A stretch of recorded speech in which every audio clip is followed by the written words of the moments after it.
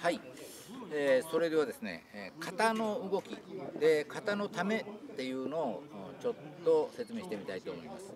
で腕をこう回していきますね。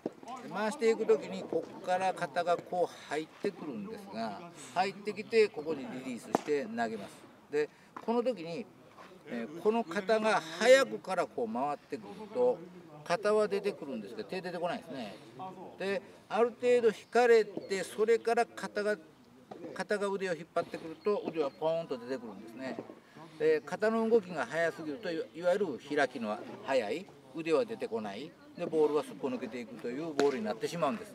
でそういうことにならないようにしっかりと斜めになった時にこの腕はしっかり後ろに引かれる。ということが大事ですね。その肩のその使い方。をちょっと説明してみたいと思います。ちょっと後ろの方にカメラさん行ってください。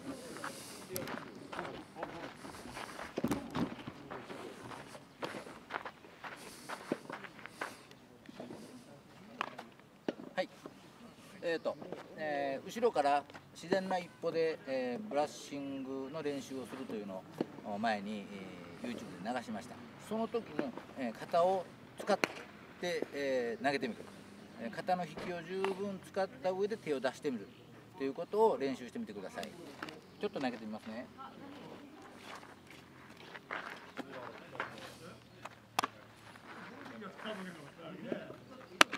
この時にここからここまで入っていくこういう状態ここから投げていく。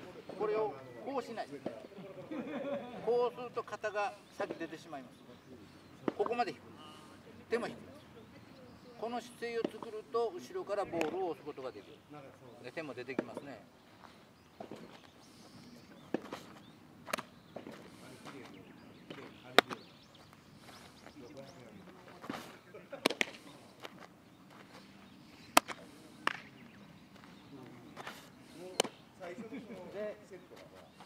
縦回転をかけるということですね。そういうふうにしていくと型が使えます。はい。